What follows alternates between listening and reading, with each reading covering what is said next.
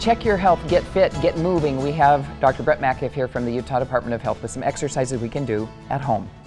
I don't like going to the gym, so let, help me out at home. And you shouldn't have to. There's Yeah. a lot of things you can do. In fact, we're going to use our chairs Just a chair. So we're going to come right Okay. down and sit nice right sturdy on one. the very front of the chair. Okay, I'm gonna turn a So bit. abs Okay. are always a challenge because number one, it's so hard sometimes, and it takes a lot of effort. Mm-hmm. Okay. What we're going to do is lean back. You can put your hands onto your Okay. legs. You can put them across your chest, whatever feels comfortable. Lean back until you just barely touch barely the back of your chair. Okay. And then come up, and then what we're going to do is have you go to the side just a little bit.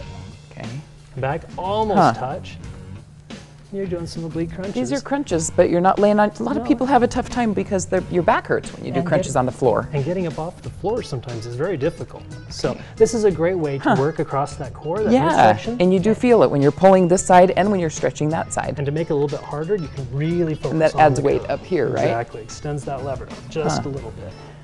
And So- it does not hurt your back. Nice way to do That's it. You fantastic. can also take one leg and bring it up if you need to. Keep it off the Okay. ground. And do that same rotation to make it a little bit more challenging. All right, fantastic. Crunches you can do in a chair. Oblique crunches. Mm-hmm. It won't instantly slim your stomach, but it'll get there. Give it time. okay, if you want more exercises, you can always go to our website, kutv.com.